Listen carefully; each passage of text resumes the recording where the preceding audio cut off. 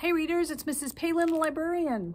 I just read Skunk and Badger by Amy Timberlake and Jon Klassen drew the pictures. So who doesn't love Jon Klassen? Oh my gosh, he's so good.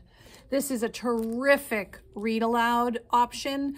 Um, some schools are doing it for their one school, one book option. When Skunk shows up on Badger's doorstep and says he's to be his new roommate, Badger is not happy about it. He's a loner. He has important work to do and they're complete opposites. And the story really, its theme is how even though you might be opposites, you can still be friends.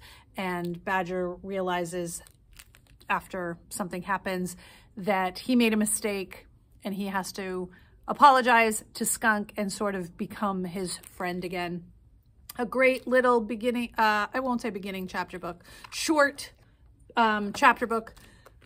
Animal lovers will love, and again, a very, very good read aloud for a class. Whatever you're reading, keep reading.